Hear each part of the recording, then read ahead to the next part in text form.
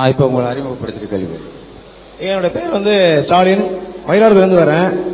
என்னுடைய கேள்வி என்ன அப்படின்னா காஷ்மீரில் முன்னூத்தி எழுபதாவது அந்த தனி சிறப்பு சட்டத்தை வந்து நீக்கப்பட்டதை நம்ம தேசிய தவ்ஹீத் கூட்டமைப்பு வந்து ஆதரிக்கிறாங்களா இல்லை எதிர்க்கிறாங்களா? ஏன்னா அவங்களும் இஸ்லாமியர்கள் தான். காஷ்மீரில் உள்ளவங்களும் இஸ்லாமியர்கள் தான்.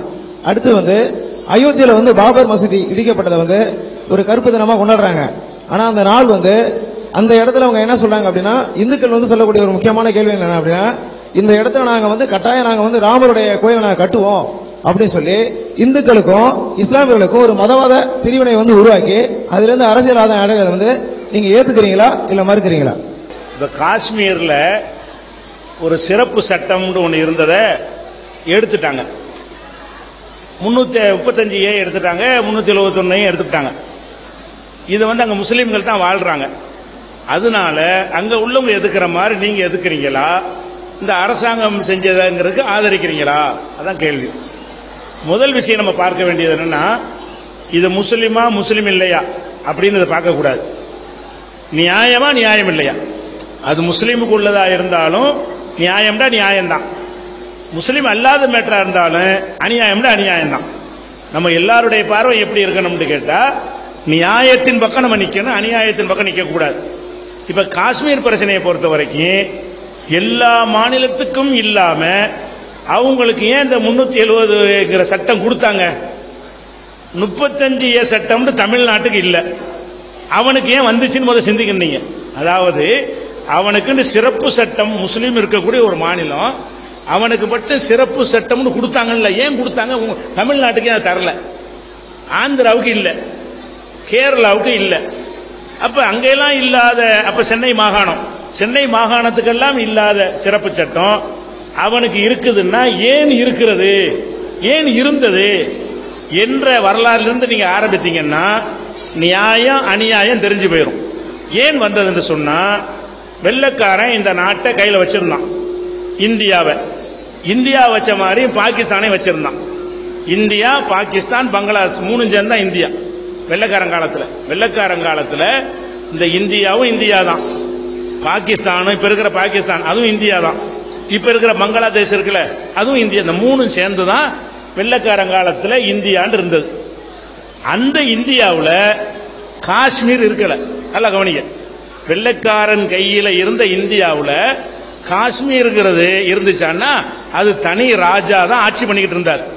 அது வெள்ளைக்காரனுடைய கண்ட்ரோலில் இருக்கவில்லை. உங்களுடைய ஜனகணமான பாட்டிலையும் அது வராது. சரியா? பஞ்சாப் சிந்து குஜராத் மராட்டாவெல்லாம் வரும். எது வராது? காஷ்மீர்லாம் வராது. ஏன்னு கேட்டா அந்த காஷ்மீர் வந்து இந்தியா இல்லாத ஒரு நாடு. வெள்ளக்காரங்காலத்திலே ஒரு நாடா இருந்தது. அப்ப சுதந்திரம் கொடுக்கும்போது என்ன செய்யறான்னு கேட்டா வெள்ளக்காரன் வந்து இந்தியாவுக்கு பாகிஸ்தானுக்கு முத நாள் கொடுத்துட்றான். அடுத்த நாள் நமக்கு தர்றான். அவனுக்கு பதினாலுல கொடுத்துட்டு நமக்கு என்ன செய்யறான்? பதினஞ்சுல தர்றான். பாகிஸ்தான் சொல்லக்கூடியதுல பங்களாதேஷ் இருக்குல்ல அதையும் பாகிஸ்தானை சேர்த்தான் பாகிஸ்தான் கொடுத்தான். பங்களாதேஷ் இந்திரா காலத்தில் வந்து உண்டாக்கப்பட்டது. சண்டையிட்டு யுத்தம் செஞ்சு பாகிஸ்தான் பிரிச்சு வேற நாடு ஆக்குனாங்க. சுதந்திரம் அடையும் போது பங்களாதேஷும் பாகிஸ்தானும் சேர்ந்து ஒரு நாடு பாகிஸ்தான். இந்தியா ஒரு நாடு. இந்த காஷ்மீர் இருக்கிறதுக்குல்ல அது இந்தியாவுக்கும் பாகிஸ்தானுக்கு மத்தியில் நடுவில் இருக்கக்கூடிய வேற ஒரு நாடு. இப்படித்தான் நாடு விடுதலை அடைந்தது. அப்ப நாடு சுதந்திரம் அடையும் போது காஷ்மீர் ஒரு நாடு பாகிஸ்தான் ஒரு நாடு இந்தியா ஒரு நாடு. இதான் எதார்த்தம் சுதந்திரம் அடையும் போது அந்த சுதந்திர இந்தியாவுக்குள்ள காஷ்மீர் இல்லை. சுதந்திர பாகிஸ்தானுக்குள்ளேயும் காஷ்மீர் இல்லை. காஷ்மீர்ங்கிறது இந்தியாவிலும் சேராத பாகிஸ்தானிலும் சேராத வெள்ளக்காரனிடத்திலும் சேராத ஒரு தனி ராஜா ஹரிசிங் என்ற மன்னர். ஹரிசிங் என்ற ராஜாவை கொண்டு ஆட்சி நடந்த ஒரு அரசாங்கம் ஒரு நாடு.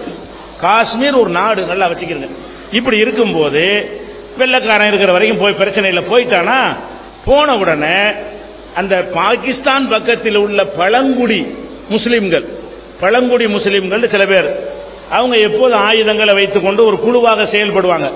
அந்த குழுவினர் என்ன செய்யறாங்கன்னு கேட்டா இதை ஒரு ச- பாகிஸ்தான் ஒரு நாடு வந்த உடனே இந்த காஷ்மீர் வந்து ஒரு செல்வ செழிப்பான ஒரு பகுதி நம்ம கைப்பற்றிக்கிறணும்னு சொல்லி அவன் உள்ள பூந்துட்டான்.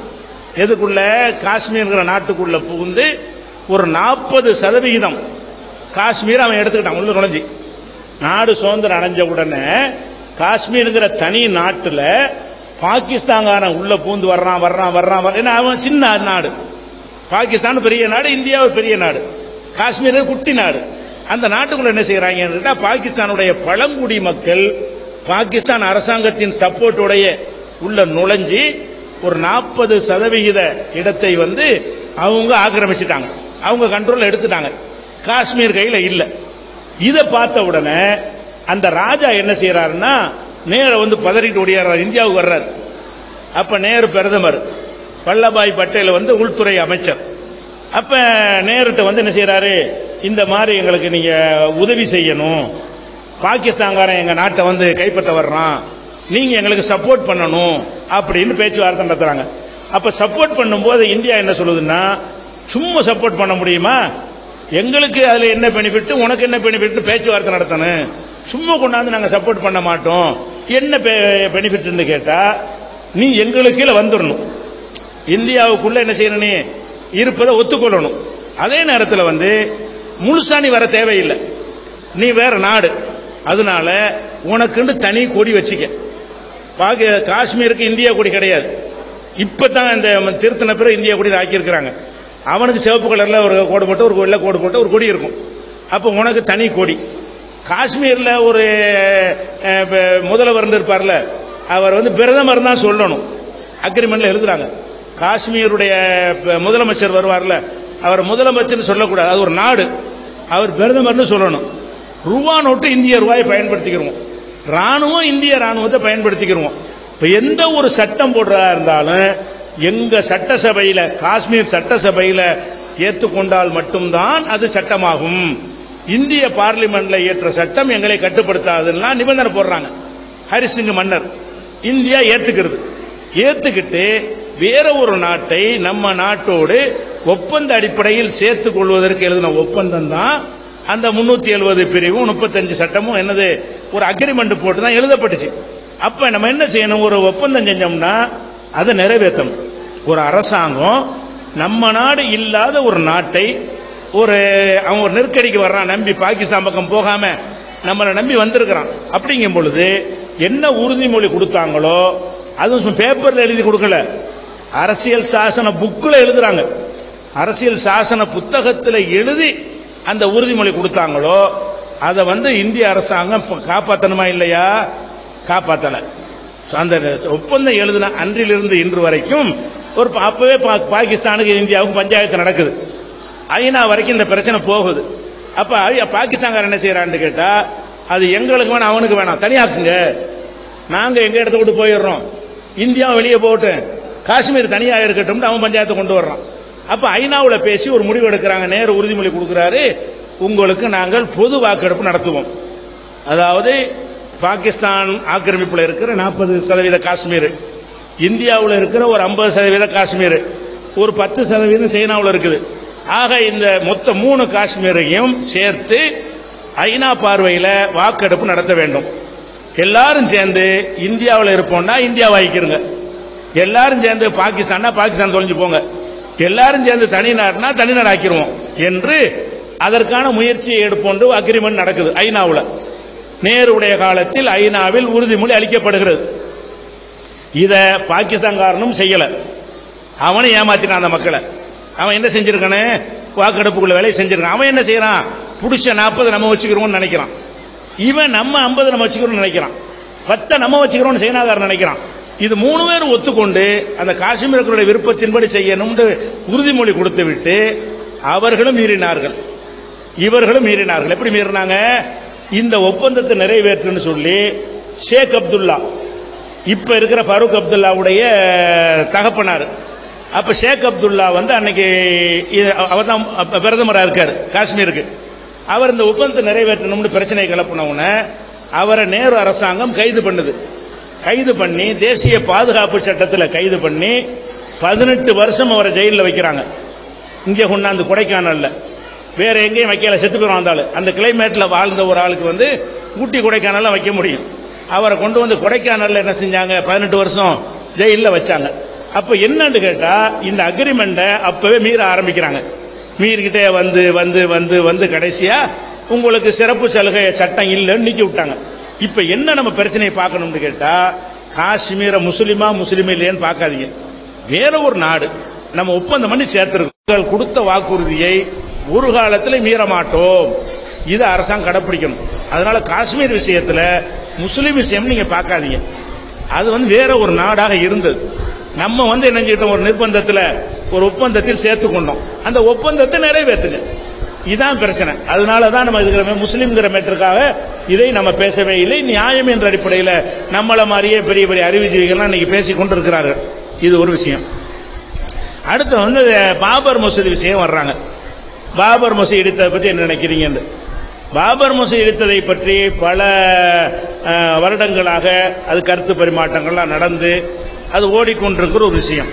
முதல் விஷயம் என்னன்னு கேட்டால் அங்கேயும் இந்தியாவுடைய நம்பகத்தன்மை தான் அங்கே குழி தோண்டி புதைக்கப்படுது என்ன உதைக்கப்படுது? ஒரு ஒரு இந்தியா சுதந்திரம் அடையும் பொழுது நமக்குண்டு ஒரு சிவில் சட்டம் எழுதுறோம். சரியா? சுதந்திரம் அடையும் பொழுது எந்தெந்த வழிபாட்டு தலங்கள் யார்கிட்ட இருக்கிறதோ அது அவங்களுக்கு உரியதுன்னு எழுதணும். இந்தியாவுடைய சிவில் சட்டம் சுதந்திரம் அடையும் போது இப்போ ஒரு கோயில் எடுத்து கோயிலே எடுத்து நான் பள்ளிவாசல் ஆக்கிட்டேன். அல்லது ஒரு பள்ளிவாசலை இடிச்சு நீ கோயில் ஆக்கிவிட்டீங்க சுதந்திரம் அடையும் போது இருக்குது. அதை வாய்தா வாக்கக்கூடாது. சுதந்திரம் அடையும் போது என்ன செய்யறாங்கன்னு கேட்டா எங்களுடைய பள்ளிவாசலை இடிச்சு நீங்க கோயில் ஆக்கிட்டீங்கன்னு வைங்க. கொள்ளிடத்தில் எங்களுக்கு ஒரு பள்ளிவாசல் இருந்துச்சு. இந்துக்கள்லாம் சேர்ந்து இடிச்சு அதை கோயில் ஆக்கிவிட்டீங்க நாடு சுதந்திரம் அடையும் போது அது கோயிலா இருக்குது. வரலாறு படி அது பள்ளிவாசலா இருந்துச்சு என்று சொன்னால் சட்டம் என்ன எழுதுனாங்க சுதந்திரம் அடையும் போது நாளைக்கு பிரச்சனை வரக்கூடாது என்றால் எவை பள்ளிவாசலா இருந்துச்சோ அவை பள்ளிவாசல். எவை கோயிலா இருந்துச்சோ அது அதனுடைய முன்கதை பார்க்கக்கூடாது. கோயில்னா கோயில் சர்ச்சுனா சர்ச்சு இதுதான் நீடிக்கணும் என்று சட்டம் இருக்கா இல்லையா? அப்ப பாபர் மசூதியை பொறுத்த வரைக்கும் நாடு சுதந்திரம் அடையும் பொழுது அது முஸ்லிம்களுடைய பள்ளிவாசல்.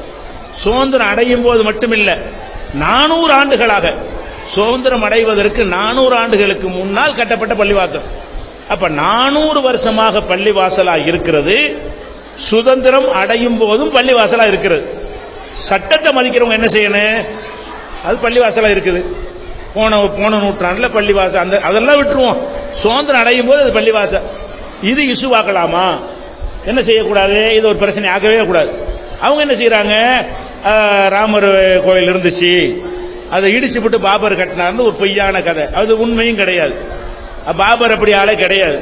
பாபர் ரொம்ப இந்துக்களுக்கு நம்ம சலுகை பண்ண ஒரு மன்னர். மகனுக்கு கூட நான் உயிரிழந்தான்னு சொன்னல சொன்னேன்ல சொன்னேன். பாபர் நாமான்னு சொல்லி. நீ மாட்டை கூட திங்காத இந்துக்கள் மன வருத்தப்படுவாங்க அப்படின்னு ஹுமாயூனுக்கு உயிர் எழுதினால அவர். அப்படியான ஒரு பாபர் வந்து ஒரு மன்னராக இருக்காரு கோயில் இடிச்சு தான் பள்ளி கட்டணுமா எங்க? நாடே அவருக்கு சொந்தமாக இருக்குது. எங்கே வேணாலும் பள்ளியாசை கட்டிட்டு போயிடலாம் ஒரு கோயிலை பிடிச்சி தேடி எடுத்து அதை இடிச்சு விட்டு அதை போய் கட்டினார்னு சொன்னால் எவ்வளோ ஒரு கொந்தளிப்பு ஏற்பட்டிருக்கு? அப்படி ஏற்படலையே. பொய். பொய்யாக வெள்ளக்காரன் நமக்கு எதிராக போட்ட அந்த தவறான வாதத்தை வைத்துக்கொண்டு என்ன செய்யறாங்க? கோயிலை எடுத்து பள்ளி கட்டிட்டார்கள் பொய்க்கதையை பரப்பி அதை இடிச்சிட்டாங்க. அது மெய்யாக இருந்தா கூட இடிக்க முடியாது சட்டப்படி. அது மெய்யாக இருந்தால் கூட அந்த மூணு மூணு கோயிலுக்கு இதுல கொடுத்தாங்க அந்த அரசியல் சாசனத்துல. காசி மதுராவில் கொடுத்துருக்குறாங்க. அதை தவிர பாக்கி எந்த ஒரு வழிபாட்டு தலவுமே அது வந்து சுதந்திரம் அடையும் போது எப்படி இருந்ததோ அப்படியே நீடிக்கும். அப்படிதான் உறுதிமொழி கொடுத்தாங்க. அதையும் மீறியாச்சு. இப்ப எல்லாம் உலக அரங்கில் என்ன ஆகுதுன்னு கேட்டா இந்தியாவில் வந்து எந்த ஒரு உறுதிமொழிக்கும் முக்கியத்துவம் கிடையாது. கொடுத்தது அவங்களே மீறுவாங்க. நம்ப இயலாதுன்னு வந்துருச்சுன்னு சொன்னா எப்படி இந்தியா வளரும்? வேற வேற நாட்டுக்காரன் வந்து நம்ம நாட்டை தொழில்களை அமைச்சாதானே இந்தியா வளரும். நமக்கு வேலை தர்றதா இருந்தா அவன் அவங்க கொண்டாந்து பணத்தை போட்டு ஒரு பல கோடிகளை முடக்கி உங்களுக்கு நூறு பேருக்கு வேலை தருவான் ஆயிரம் பேருக்கு வேலை தரும் லட்சம் பேருக்கு வேலை தருவான்.